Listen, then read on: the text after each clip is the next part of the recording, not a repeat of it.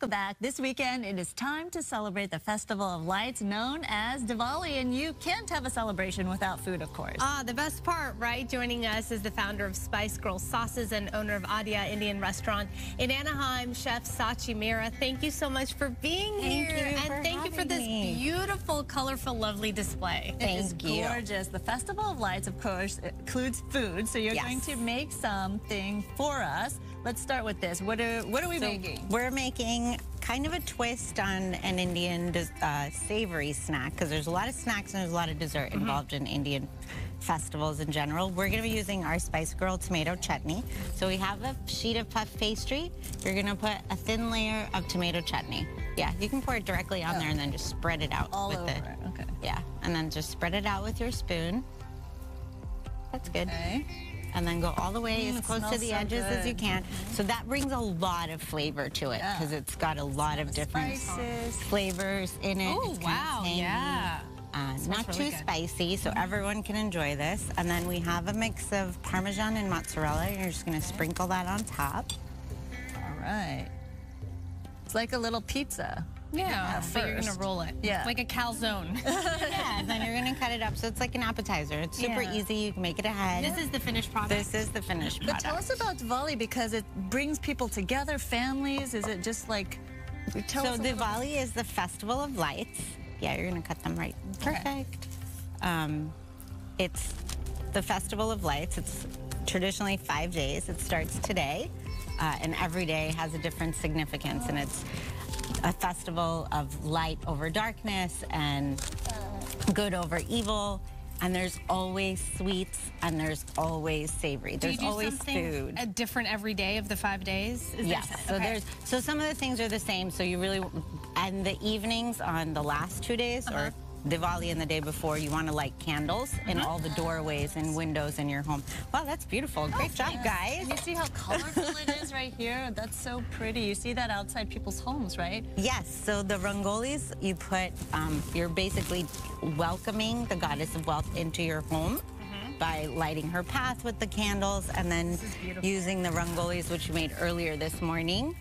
Uh, so that's a great craft for kids so between here and okay. here, we would chill that. Chill so, that. And then cut, it, cut, it up, cut, it up, And then you lay them out on a sheet tray. Okay. Bake them. How, for at how 350, 350, for about 12 minutes. Okay. Yeah. And, and if you make it ahead of time, and then you have this. And then, and then we have more sauce. tomato chutney to dip it in, and that one's hot sauce. Okay. Which one's hot sauce? That one. That one. Okay, I'll go. These look so pretty. mm-hmm.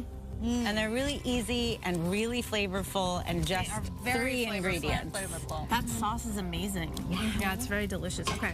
Thank I you. love it. Now, speaking of the different types of things to eat, savory, sweet, tell me about the sweet and the special thing you're doing right now. So we're doing a collaboration with Adya and Crema Artisan Bakers, and what we've done is taken flavors from my childhood and Indian sweets and turn them into pastries that are more commonly available and more familiar, people are more familiar like with. croissant. So we have yeah. a rose almond croissant. Ooh. We have next to that is a chai chocolate croissant. Oh chai chocolate. I don't know what to. I'm i just, love I'm the combination gonna... of flavors that you. We have a mango pop tart.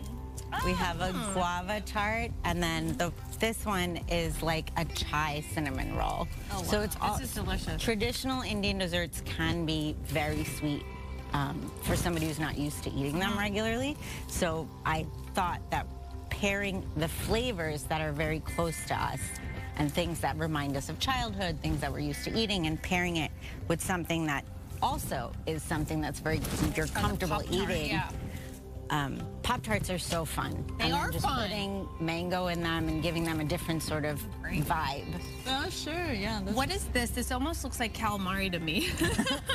it's called a chakli. It's a savory snack. It's ah. made of chickpea flour and it's fried. And these are all traditional Indian. These are all traditional Indian snacks. Yeah, go ahead. Sorry. Ooh. Is this a samosa? That is a samosa. Delicious. This mango pop tart.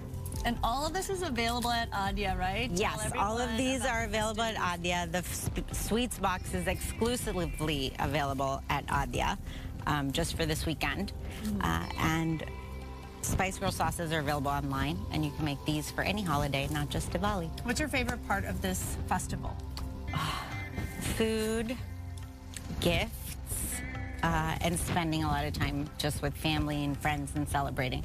It's our biggest holiday of the year, so it's just a lot of fun.